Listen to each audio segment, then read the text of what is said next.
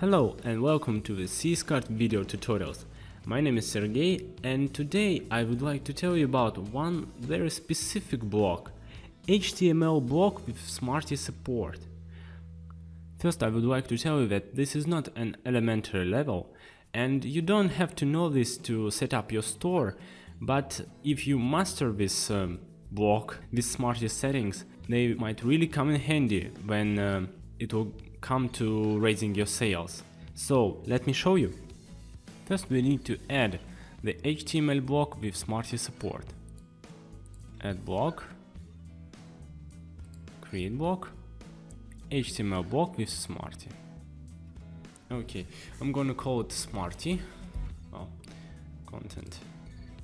For now it will be test, create, and okay, here we go. I want to move here. Now let's um, see the result at the home page. Here we go, refresh the page. And okay, voila, this is uh, the text we needed. So that means that the Smarty works just fine. Let's go back to the layout page. I think it's better to place uh, the block over menu. Now let's see what we can do with Smarty. Okay, block options. Before we proceed, I would like to explain you what the Smarty is used for. So, Smarty works with the Smarty template engine, which allows to use Smarty variables that take the information straight from the core of a store. By using Smarty you can display the information that is not included in the layout. And by the way, after watching this video I recommend you to go to the smarty.net website and learn some basics that might really come in handy for your store building. To demonstrate the capabilities of Smarty, I'm going to make some greetings example that will greet my customers when they come to my store. Let's roll.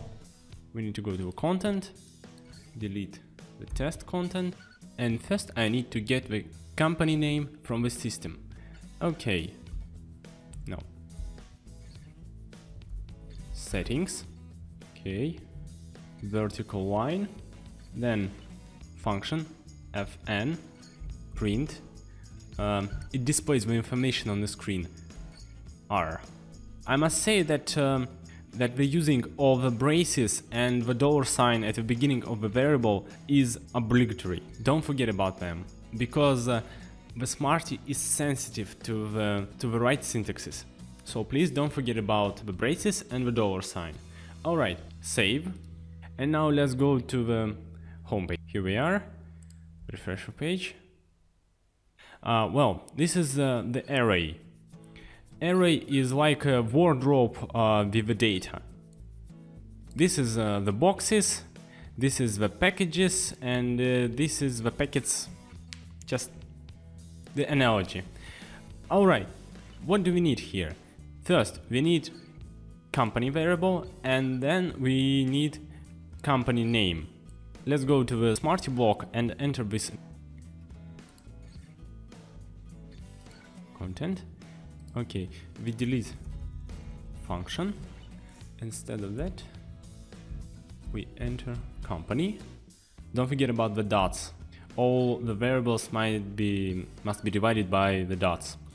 Okay, company name and here I write my greeting. Um, yeah, welcome to. Okay, save. Back to storefront. F5. Yeah, this is the greeting. Welcome to Simtech. Works just fine. Now I want to make my greeting um, look more personal. Yes, I wanted to address to my customers. Let's go back to the block. To greet my customers in a more personal way, I will need an authorization variable. Okay, so first I'll enter the... Sorry, I will enter the HTML tag to divide the lines, yes, and then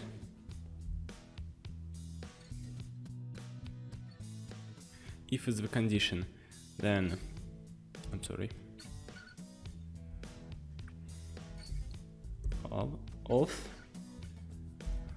user ID okay. Uh, zero means that the user is unauthorized. After that yeah.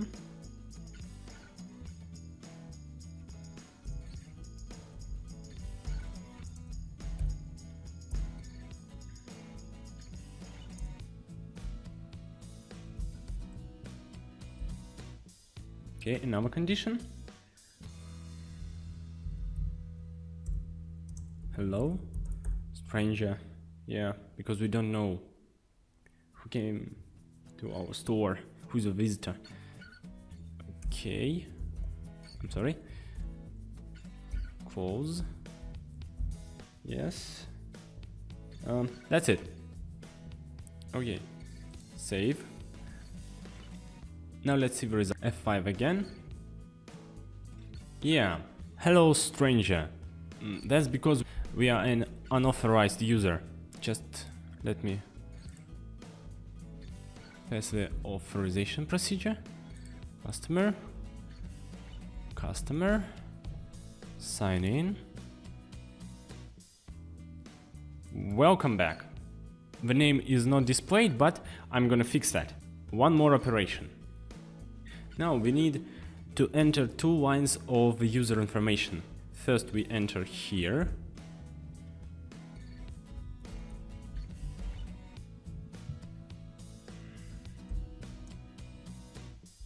Don't forget about the braces and the dollars.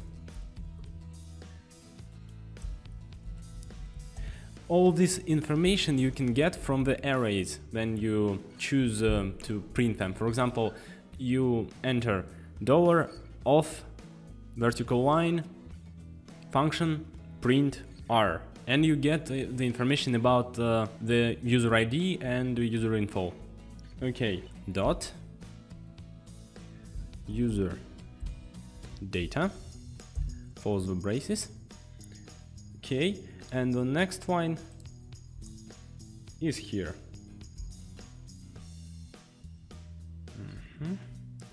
User info. First name. And I think you will also want to use the last name so we just copy that. Okay and enter the user's last name.